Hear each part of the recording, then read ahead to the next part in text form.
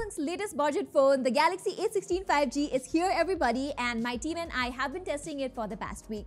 It is the successor to last year's A15 5G which if you remember was one of the highest selling phones globally. The A16 5G has launched for a starting price of 19,000 rupees in India or some $200 and I was able to pick one from Flipkart at just 17,000 rupees.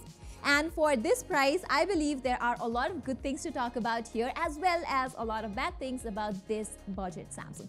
Okay, let me start with the good things first and design here is definitely solid. It's not glass, but Samsung has nailed the build quality, the looks, the hands-on feel and all very, very well. This new gold color also looks quite nice if you ask me. And the thing with Samsung phones is from budget to mid-range to flagship, they all look the same. So the A16's got premium clean looks too. This year, Samsung has made sure to provide an official IP54 rating as well, which was missing on the A15.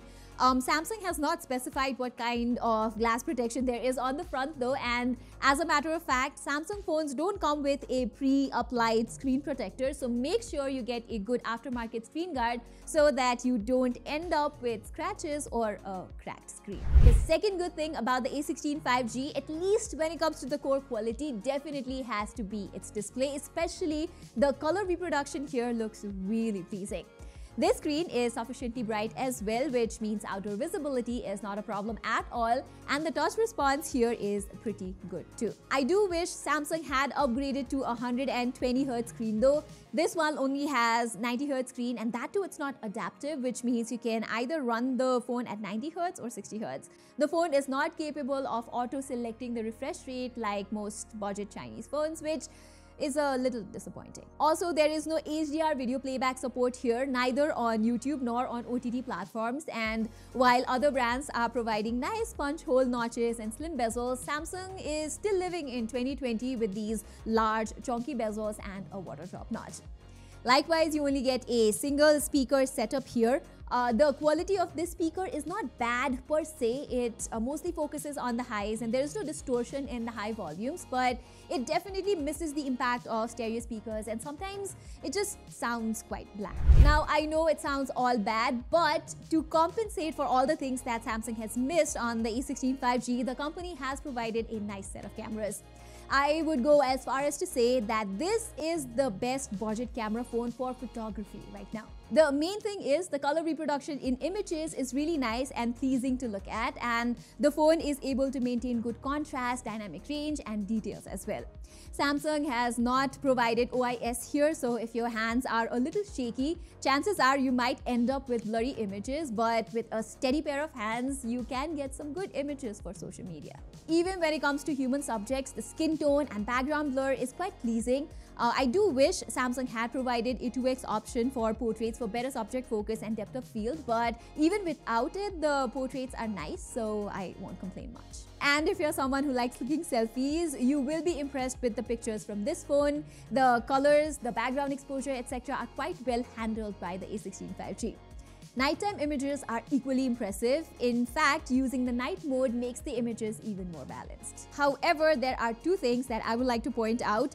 First, the A16's new low-res 5 megapixel ultra-wide-angle images are quite average with little details to look out for, especially during nighttime. And there is no night mode option for ultra-wide photos as well, which means you might get pretty bad ultra-wide angle images at night. Second, the videography aspect is quite average too since there is no 4K recording option. The max you can shoot at is 1080p. Uh, in this resolution, the videos aren't as detailed, but the stabilization is good nonetheless thanks to EIS. And if you're someone who's even a little bit interested in gaming, don't get this phone.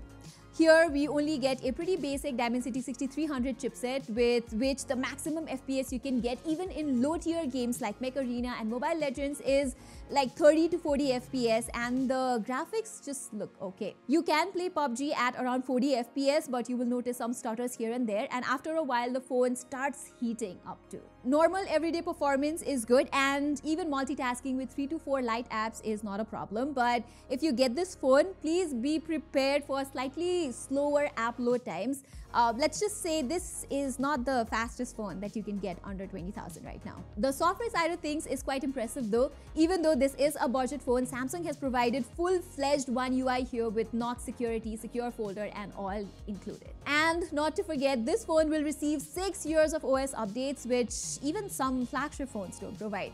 This means if you're a light user, this phone is going to run for many, many years and its resale value is also going to be good. Plus, this is also good for the environment and the whole sustainability thing because since this phone will get updates till 2030, which means people are not going to throw it away, uh, some kid or your future child might actually be using this phone just to play light games or watch videos. Okay, next, I have to say the battery life on this phone is satisfactory too. Its 5000 mAh battery lasted for an entire day for me without any trouble, even on heavy usage, so that's good. The A16 5G supports 25 watt charging, but like with all Samsung phones, you will have to cash in extra for the charger. Um, I used my Ugreen power delivery charger to charge this phone and it took around 1 hour and 30 minutes to completely juice it up from 0 to 100%. So would I recommend the A16 5G? Well, despite having a relatively slow performance, this is a decent Samsung offering on a budget. Uh, yes, the price is a bit higher, but with Samsung phones, we always pay a premium because of the brand value, software support, and after-sales services. Overall, here you are getting a nice design, an excellent set of cameras for photos, a good AMOLED screen, 6 years of OS updates, and a modern design. So yeah, not a bad value. So everybody, that was all for my full review of the Samsung Galaxy A16 5G. If you have any further questions about this device, do let me know in the comments. And while you're there, do not forget to subscribe to our channel. Saying this, I'm Pratima Adhikari and I'll see you in my next video.